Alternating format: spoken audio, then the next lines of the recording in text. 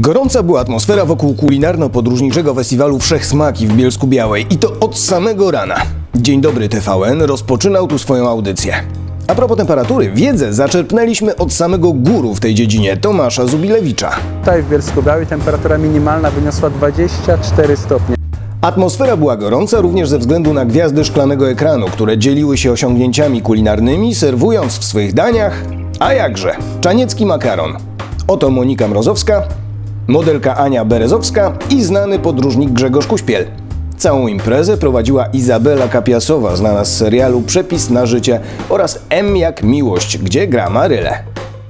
Ale po kolei. Zaczęło się od śniadania serwowanego do pysznej kawy. Oczywiście nie zabrakło sałatki z makaronem. Makaronik jest idealny, super sałatka jest wyśmienita, polecam każdemu. Można się przy okazji dowiedzieć bardzo dużo ciekawych rzeczy od kucharzy, którzy tutaj prezentują po prostu swoje, swoje dania, właśnie wykonane z, ma- z czanieckiego makaronu. Nasza firma w tym roku obchodzi 25-lecie. Postanowiliśmy pokazać ludziom, że makaron to nie tylko rosół w niedzielę, czy makaron tradycyjny z Włoch, ale wiele innych ciekawych potraw, dzięki którym możemy rozwijać się kulinarnie.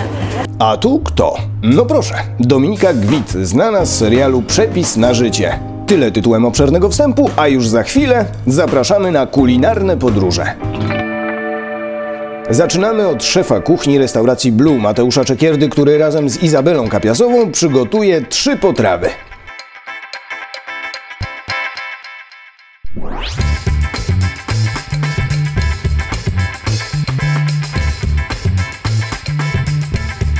Jeszcze makaron. Tą pszenicą, która jest w tym makaronie, dokładnie w makaronie czarneckim, to jest pszenica 100% knuru. Rośnie na stokach śródziemnomorskich, jest zdrowsza i ma więcej witamin. Iza jest Czeszką. Ja mieszkam w Havířově, Havířov. To je město, které má 85 tisíc občanů. Nie, nie, teraz o makaronie. Ja bardzo lubię makarony, w ogóle bardzo lubię włoską kuchnię, e, często przyrządzam, bo ja uważam, że makaron to jest naprawdę szybkie danie. Młody jest wyznacznikiem smaku. Jeżeli jemu smakuje, to, to musi być dobre. Mamy gromadę dzieci, ja mam czwórkę i głównym daniem to jest w domu makaron. Z sosem oczywiście. Makaron z sosem, zazwyczaj pomidorowym. Lubię to bardzo, zwłaszcza jakie takie świderki takie większe, jakieś muszelki na sucho, bardzo uwielbiam. Słuchajcie, a lubicie spaghetti z makaronu? Takimi długie, długie, długie makarony? Tak. Lubicie? Zresztą maluchy nie tylko mogły tu raczyć swoje podniebienie. Były zabawy, malowanie, a tematem przewodnim był... Tuż obok pawilonu czanieckiego makaronu w ramach kuchni wszechsmaków znalazła się wystawa kulinarna zdjęć z całego świata. Wszystko to wzmagało apetyty zgromadzonych gości. Teraz czas na Monikę Mrozowską i jej potrawy.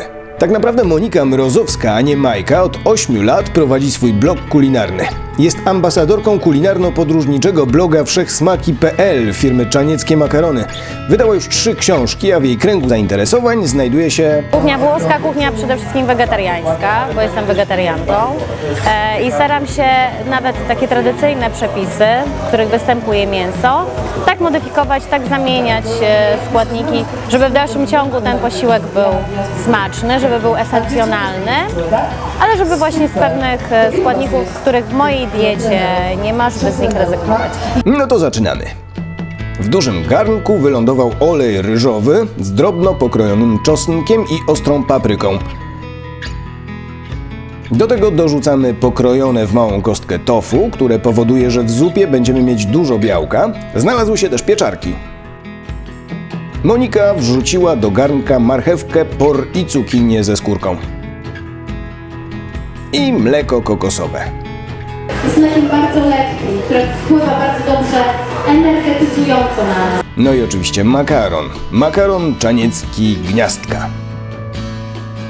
To, że warzywa pokrojone są drobno sprawia, że tempo przygotowania posiłku jest błyskawiczne. Dokładamy jeszcze do zupy liście limonki. Dzięki temu smak staje się bardziej kwaśny. Dodajmy też trochę cukru i cytrynę, a raczej przy tej ilości zupy dwie cytryny. Odrobinę chili, ale dosłownie odrobinę. Makaron jest już gotowy. Zatem zapraszamy do konsumpcji. Te makarony się świetnie nadają i do tradycyjnych polskich przepisów, e, i włoskich. i do kuchni tajskiej, że można przygotować naprawdę całą gamę rozmaitych dań bazujących właśnie na tych produktach. Nie muszę przekonywać tego, że makaron jest naprawdę najwyższej jakości. Receptura jest niezmienna od prawie od 25 lat, więc y, jest trochę naszą tajemnicą. Najważniejsze jest, że w makaronie pięciojajecznym używamy faktycznie tych jajek, które dodają dużo energii y, w ciągu dnia, jeżeli zjemy sobie taki makaron. Mamy też y, makaron bezjajeczny, który jest makaronem typowo włoskim, bardzo fajny, ugotowany al dente, czyli tak jak jedzą go prawdziwi Włosi. To makaron tutaj nasz, z regionu, więc to jest bardzo ważne. Zazwyczaj kupujemy rzeczy, które są regionalne, ściągane e, gdzieś tutaj z okolic, a dodatkowo kierujemy się wysoko, żeby makaron był e, jajeczny, między innymi. Jak najzdrowiej.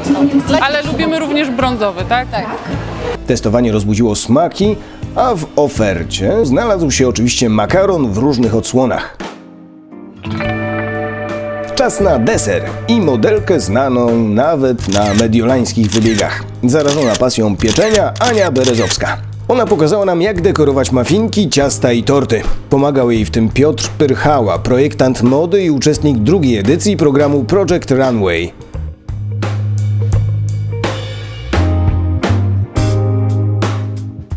Tymczasem zagadaliśmy Anię oczywiście o makaron.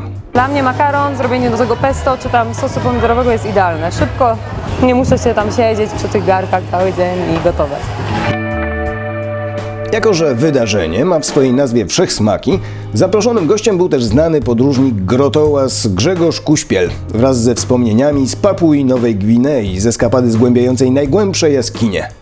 Nie samymi jaskiniami i przyjemnościami i ekstremą człowiek żyje, również y, musieliśmy jeść coś i zdarzało mi się rzucić y, y, torbę torbacza, czyli kangura nadrzewnego, takiego tak zwanego dendrolagusa, czyli kaskasa w ich brzmieniu. O pożywieniu, ale i o kulisach sławnej na całym świecie eskapady w głąb lądu słuchali pana Grzegorza rządni przygód słuchacze, uczestnicy festiwalu Wszechsmaki.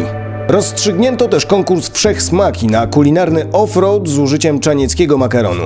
Jurorzy brali pod uwagę nieszablonowe podejście do tematu, inspirację kuchnią świata, spójność i autorskie spojrzenie na temat, a także estetyczne i oryginalne zaserwowanie potrawy w fotograficznym kadrze. Spośród ponad 100 przepisów jurorzy wybrali autorów trzech z nich, których nagrodzili podczas festiwalu. Nagrody ufundowała firma Czanieckie Makarony, a były to wycieczki do dwóch kulinarnych stolic świata, Włoch i Chin oraz voucher o wartości 1500 zł na designerskie akcesoria kuchenne. Tak oto wyglądał zaledwie jeden dzień festiwalu Wszechsmaki, zorganizowany przez Czanieckie Makarony.